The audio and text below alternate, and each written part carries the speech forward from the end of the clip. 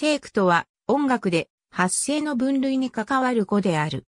器楽ではパイプオルガンなどで使われる言葉で、声楽用語の声区はパイプオルガンにおける概念を人の声に当てはめたものと言われる。英語ではボイスレジスターなどが使われる。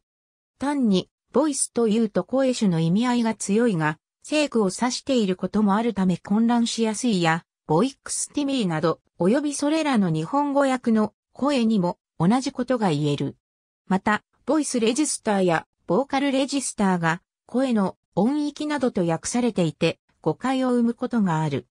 パイプオルガンの発音源であるパイプは全音域にわたって一種類であることはなく、高い音域は金属製のフルー管、低い音域は木製平管リード管といった具合に数種類が使い分けられており、その組み合わせを変えて音色を調整する。この発音体の種類の違いやその組み合わせの違いによる区分がレジスタである。ストップと同じ概念とすることもあるが、ストップはレジスタを切り替えるための装置を指すことが多い。歌唱やその訓練において、主に発声者の体感、初期間の働き方の違いで声を分けるとき、一連の声のシリーズを聖句と呼び、音色で分ける声種とは区別される。聖句と声種の違いは、簡単に言うと発声機構が聖句で、音色が声種である。ただし、発声機構と音色との間には関連性があり、声種と聖句を完全に切り離して考えることはできない。米国のポピュラー音楽では、ライトボイスとヘビーボイスの二つの声種に分けることが多く、聖句という言葉は不要という指導者が多い。これは米国人の多くが替え声点の目立たない発声をするため、聖句を体感しにくいことが影響している。一方で、日本人、特に男性の多くは、替え声点が非常に目立つ発声で、逆に声種を理解しづらい状況にある。日本人女性には、聖句がわからないという人が多い。聖句と聖句の移り目のことを替え声点や、ブレイクポイントなどという。パッサージョという言葉も有名だが、これは改正点を通過する、聖句を転換するという意味である。各聖句には重複部分があるので、聖句転換は音域的には上の聖句の最低音から下の聖句の最高音までの範囲で任意の高さで行える。ロングトーンの途中で音高を変えずに聖句を転換することも可能である。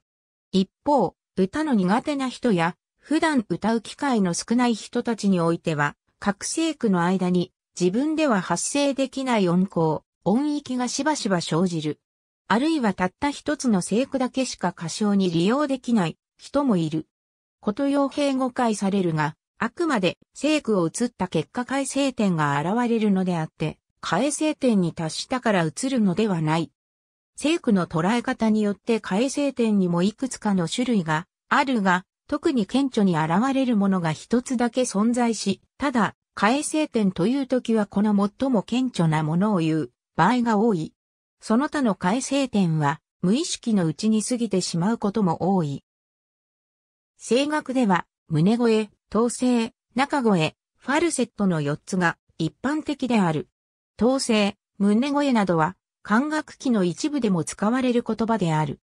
他にフラジオレット、ホイッスルボイス、シュトローバス、ボーカルフライなどがあるが、先の4つに比べればあまり使われない。これらの語は聖句を示すにも声種を示すにも用いられる。特に聖句の場合のみ、胸聖句、頭聖句、中聖句という言い方もする。日本語の地声、裏声は多くの場合聖句を表し、声種的に使われることは少ない。人間の聖句は本来いくつなのか、訓練の際にはいくつに分けるべきか、といったことが声楽家や音楽家、音声学者たちによってたびたび論じられてきた。逆に、流儀による発声技術や指導方針の違いは、聖句の解釈の違いから生じているところが大きい。声楽においては二聖句主義と三聖句主義が多い。改正点で調子が外れたり音色が急変してしまうことをブレークという。声が裏返ることである。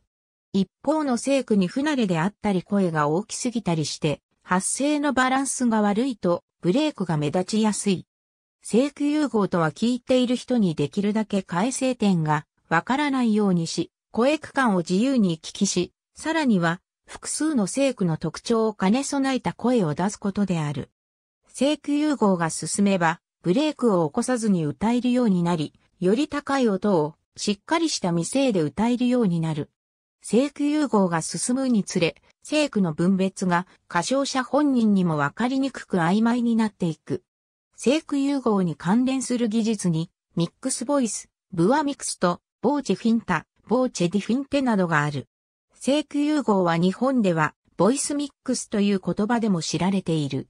声が大きく二つの正区に分かれる原因は、人間の発声機構にある。発声器官には音高を調節する機構が2系統、存在する。発声技術が未熟な人は、この二つの機構を、それぞれ単独で、働かせるため2種類の声に分かれる。上級者は両機構を同時に使って発声できるが、音高調節の主体がどちらになるかで区別が残る。さらに融合が進むと、音高調節が完全な強調作業となり、正区の区別はつかなくなる。ありがとうございます。